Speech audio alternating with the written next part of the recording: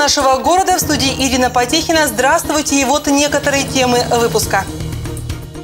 Купальный сезон открыт. Один из жителей города едва не утонул в озере. Немножко в нетрезвом виде он был. Видимо, решил испытать свою лодку. Там в результате перевернулся. Автопарк обновился. Ноябрьск спецавтотранс приобрел два новых автомобиля скорой помощи. И мы в отпуске. Новости нашего города объявляют новый фотоконкурс. Главный приз – iPad mini. 3 июня – ориентировочная дата окончания отопительного сезона. Предположительный график летних ремонтных работ сегодня представил в администрации города технический директор «Энергогаз Ноябрьска» Валерий Ольхов. Ограничить подачу газа планируется с 5 августа, а это значит, что центральная котельная будет остановлена и город на две недели останется без горячей воды. Кроме того, специалистам «Энергогаз Ноябрьска» предстоит обсудить с подрядчиками ДМЗ период работы и схемы отключения некоторых микрорайонов во время капитального ремонта на магистральных сетях. Однако все планы ресурсников еще предстоит согласовать в администрации города. Веское слово администрации требуется и в вопросе обеспечения безопасности на водоеме парогазовой станции. В праздничные дни один из жителей города уже открыл там купальный сезон. Причем появился он на водоеме с лодкой, катание на которой едва не привело к трагедии. Немножко в нетрезвом виде он был. Видимо, решил испытать свою лодку. Там в результате перевернулся, ветер был сильный. Ну, хорошо еще доплыл сам до берега, там и лодку потом прибило к берегу. Сергей Черкасов отметил, что запрещающие знаки горожане игнорируют, несмотря на то, что купаться, а тем более использовать маломерные суда в водоеме на самом деле опасно. Работа насоса вызывает непредсказуемые течения. Один из вариантов частичного решения проблемы – это отбойники вдоль дорог, которые уже зарекомендовали себя в районе аэропорта. Этот вопрос тоже в ближайшее время рассмотрят местные власти. Залатать все прорехи на ноябрьских дорогах в этом году получится едва ли. По словам начальника городского управления ЖКХ ТЭС Дмитрия Шмакова, этим летом на ремонт дорог сумма предусмотрена очень скромно, чуть более 20 миллионов рублей. Так что в наших планах убрать колеи на улице Шевченко в районе перекрестков с Муравленкой и Киевской. Аналогичные работы пройдут и на двух участках улицы Советской – Кроме того, запланирован ремонт улицы Городилова и тротуара на Ленина от космонавтов до проспекта Мира, а также ряд работ по устройству дорожных знаков и ограждений. При этом обследование городских дорог показало, что целый ряд улиц находится в довольно плачевном состоянии. Это в первую очередь улицы Республики, энтузиастов и центральный проезд промзоны – Здесь планируют провести ямочный ремонт. И хотя в бюджете средств маловато, даже для ямочного ремонта, увеличить объемы работ планируют за счет экономии по программе благоустройства города. Знаки, обозначающие пешеходные переходы, покосились и попали в поле зрения рубрики «Нам здесь жить». Видимо, порывы ветра оказались настолько сильными, что перед ними не устояли металлические столбы, на которых установлены знаки.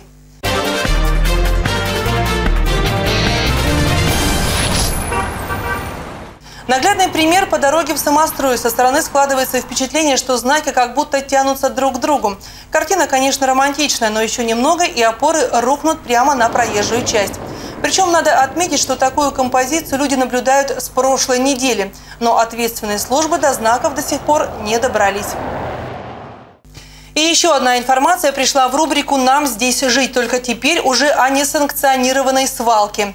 Бытовой мусор, картонные коробки, ящики, автомобильные покрышки и огромная гора гнилых овощей расположились прямо в самом центре гаражного комплекса. Люди предполагают, что эти отходы попали сюда из близлежащих магазинов. И через рубрику «Нам здесь жить» надеются призвать тех, кто сделал это к совести и ответственности. Отмечу, на этой территории установлены сразу три мусорных контейнера, и они тоже переполнены. По всей видимости, мусор отсюда давно не вывозили. В Ноябрьске подожгли автомобиль, и случилось это недалеко от здания полиции. По информации городской пожарной охраны, сегодня примерно в 2 часа ночи поступило сообщение о том, что в районе остановки ОВД горит Toyota Camry. Уже через 4 минуты огнеборцы были на месте, но их помощь не потребовалась. Хозяину авто удалось потушить пламя самостоятельно.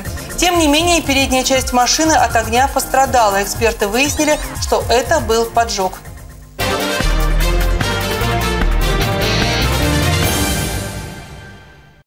«Газпром» нефть начинает проект по строительству компрессорной станции на Етыпуровском месторождении. Новая КС производительностью свыше 1 миллиарда кубометров газа в год позволит транспортировать добываемый попутный нефтяной газ в газосборную систему общества «Газпром Добыча Ноябрьск», для чего будет построен газопровод протяженностью 9 километров.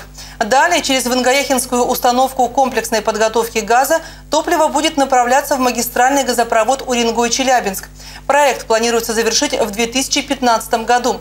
Как отметил руководитель дирекции по газу и энергетике «Газпромнефти» Антон Гладченко, строительство компрессорной станции на Итыпуровском месторождении позволит подготовить инфраструктуру к увеличению объемов добычи газа и эффективно использовать это сырье. Парламентарии Ямала приступили к формированию повестки майского заседания Законодательного собрания автономного округа. Оно назначено на 22 мая. На заседании планируется рассмотреть в первом чтении новую редакцию окружного закона об образовании, внести поправки в региональные законы о торговой деятельности и об управлении и распоряжении государственной собственностью, привести в соответствие с федеральными изменениями окружные законы о потребительской корзине и о прожиточном минимуме в регионе. Ноябрьское специализированное автотранспортное предприятие закупило новую технику. Это два микроавтобуса «Газель» скорой помощи. Автомобили уже прошли обкатку. Водители, которые будут на них работать, своим ходом пригнали машины в Ноябрьск из Нижнего Новгорода. Говорят, 3000 километров прошли незаметно, и «Газели» готовы к работе. Со дня на день водитель скорой помощи Максим Трапезников пересядет со старенькой «Газели» на новый автомобиль, тоже «Газель». Отечественные производители, говорит он, других моделей для скорой пока не предлагают, но все равно эта машина водителя радует. Удобные бардачки, электронная панель, подогрев зеркал и много других плюсов, перечисляет шофер. Двери немножко помягче закрываются, что боковые, что задние. Двигатель как-то вот или может быть потому, что он новый, ну, получше, конечно, работает. Печка уже отопление совсем по-другому сделана. Ей бы еще мощности добавить, чтобы бегала побыстрее, и цены такой «Газели» на скорой вообще бы не было, говорит водитель. Хотя одно то, что предприятие закупило новый транспорт, уже большое дело. Каретам скорой помощи простаивать не приходится, и если машина вышла на линию, то целые сутки на колесах. За смену мы наматываем где-то, если брать в среднем, то где-то километров 50-70 где-то вот в этих пределах. Иной раз бывает чуть меньше, иной раз бывает даже намного больше. Бывает, э, доходит километраж э, в день, ну то есть не в сутки, а в день, даже до 300 километров. По техническим э, характеристикам э, наших автомобилей отечественного производства, ну, нежелательно больше пяти лет э, держать машину э, в эксплуатации, потому что э, скорую помощь мы обслуживаем э, в суточном режиме, и э, как бы если э, в нормальном состоянии машина могла бы проходить и 7 лет, то в суточном режиме 5 лет для нее это очень много. По этим меркам прежняя «Газель Максима» совсем старушка, отбегала на скорой 10 лет. И еще парочка ее ровесниц в строю были до сегодняшнего дня. Теперь предприятие две изрядно поддержанных машины сменит на новые, а одну поставит в резерв. К слову, до сих пор в автопарке медтранспорта запасная скорая была неслыханной и, главное, нереальной роскошью. Но вот теперь невероятное стало очевидным. Раньше не было у нас резерва, а машины работали, что называется, с колес. То есть не было возможности, если какая-то машина а, встала на техническое обслуживание, мы э, оставались практически без машины. И большая заслуга в этом а, наших водителей, профессионалов, в том, что они смогли э, выполнить поставленную задачу, то есть не остановиться в нужный момент, а отработать э, согласно тех задач, которые были перед ними поставлены. Сейчас в автопарке НСАТа остается еще несколько машин скорой помощи, заменить которые руководство планирует в следующем году. Пока же водители новых «Газелей» оценивают удобство микроавтобусов не только со своей точки зрения, но и с точки зрения медицинских бригад.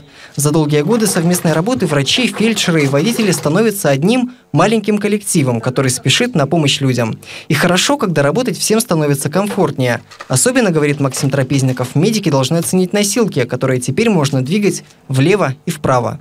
Можно врачу и с этой стороны работать, если это удобно, и можно и со стандартной стороны работать. Сейчас новые машины проходят техобслуживание, на них оформляются документы, а на следующей неделе «Газели» выйдут на линию. Кирилл Мигель, Ирина Потехина, Григорий Куропцев. Новости нашего города. Бригад скорой помощи в городе стало меньше, но это сезонное сокращение, уверяют специалисты. Это происходит каждый год в мае и зависит от количества вызовов и существующих нормативов. По правилам, на одну бригаду в сутки должно приходиться от 12 до 14 вызовов. И летом, чтобы вписаться в эти рамки, для Ноябрьска достаточно 6 бригад. Осенью их количество увеличивается до 8 или даже до 9 в период эпидемии гриппа. Однако в этом году персонал скорой помощи и зимой работал уменьшенным составом. Был кратковременный период, когда мы искусственно э, были вынуждены сокращать бригады. Это в зимний период, пока еще не было решено вопроса по финансированию, был недостаток финансирования. Значит, нам приходилось сокращать бригады для того, чтобы Э, справиться как бы с этим дефицитом. Сейчас этот вопрос решен, деньги нам добавлены, поэтому таких проблем больше возникать не будет. А сейчас количество бригад э, сокращено согласно сезону, то есть угу. у нас это э, заложено даже в договоре. Значит, шесть с половиной бригад на май месяц. Также будет летом такое же количество. Осенью бригады будут добавляться. Добавлю, что медперсонал скорой помощи при этом не сокращается, просто нагрузка на людей становится несколько меньше. А вот финансовая проблема, которая стояла перед медиками, была вызвана в том числе и тем, что аренда машин скорой помощи стала дороже. Этим летом за счет муниципалитета отдохнут более 2700 юных ноябрьцев. Еще почти для 2000 человек отдых будет организован за счет окружного и федерального бюджетов – Штаб по организации отдыха, оздоровления и трудовой занятости детей и подростков уже работает. Здесь есть вся информация о том, куда могут отправиться дети во время летних каникул и где смогут провести время с пользой, не выезжая за пределы Ноябрьска. Штаб расположен в центре досуга «Поиск». Кроме того, информацию можно получить непосредственно в Управлении по делам семьи и молодежи администрации города. Сегодня ноябрьскому школьнику Артему Бойчуку в торжественной обстановке памятный подарок вручала глава администрации Ноябрьска Жанна Белоцкая. Артем стал победителем 47-й международной Менделеевской олимпиады в Ташкенте – Поздравляя талантливого ученика, глава города отметила, что он последовательно идет к своей цели – вырасти достойным человеком, который будет представлять наше государство в будущем. И выразила уверенность в том, что, как и сегодня, в будущем не только родители, но и город обязательно будет гордиться успехами Артема. Мы в отпуске. Новости нашего города объявляют новый фотоконкурс – Размещайте свои фотоснимки с летнего отдыха в специальном альбоме в нашей группе в «Одноклассниках». Победитель, а им станет автор фотографии, которая наберет большее количество голосов, получит специальный приз от нашего спонсора компании «Север Автоямал».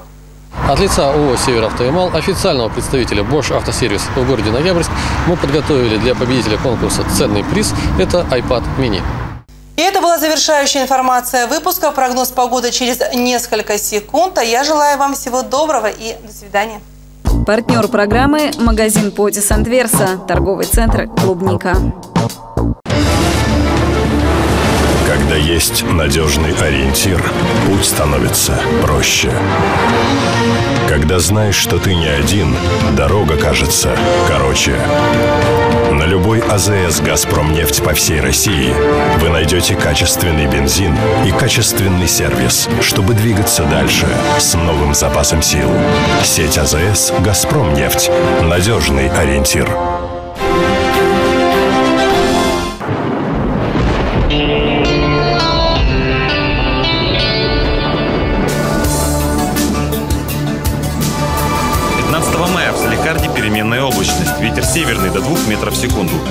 Температура плюс 1 градус. Муравленко облачно. Ветер северный до 5 метров в секунду. Температура 0 градусов. В Ноябрьске без осадков. Ветер северный до 4 метров в секунду. Температура около 0 градусов.